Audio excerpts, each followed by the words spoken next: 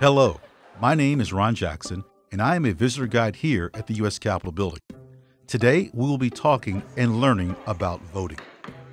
What does the word vote mean to you? Voting means different things to different people. It is one of the most important rights that we have in our country.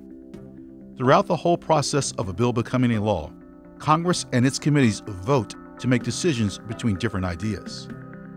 Let's imagine what it's like to be a member of Congress making these tough decisions. But first, we have to travel back in time. Imagine it's the early 1900s.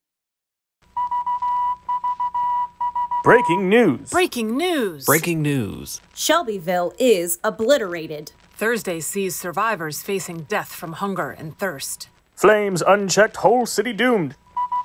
A series of natural disasters have hit the city of Shelbyville. America's ninth largest city lies in a state of ruin. Shelbyville was already in need of water, but the situation is even more dire now.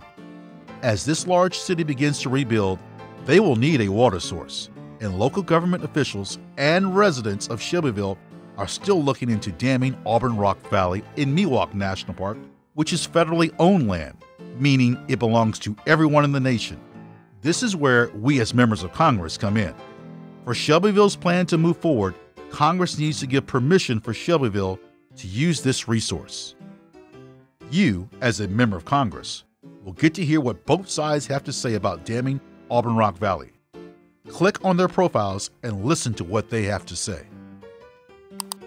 To the American people, fellow owners of the Miwok National Park, the city of Shelbyville has been making every effort to obtain for its citizens the best, purest, and largest water supply.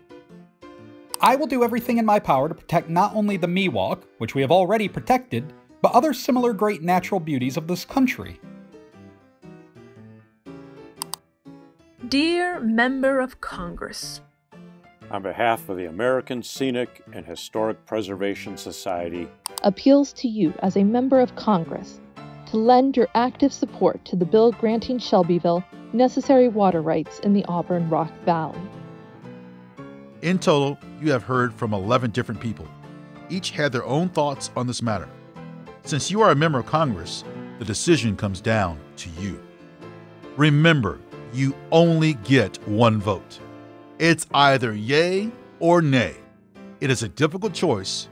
It's your turn to decide on this issue. It's time to vote.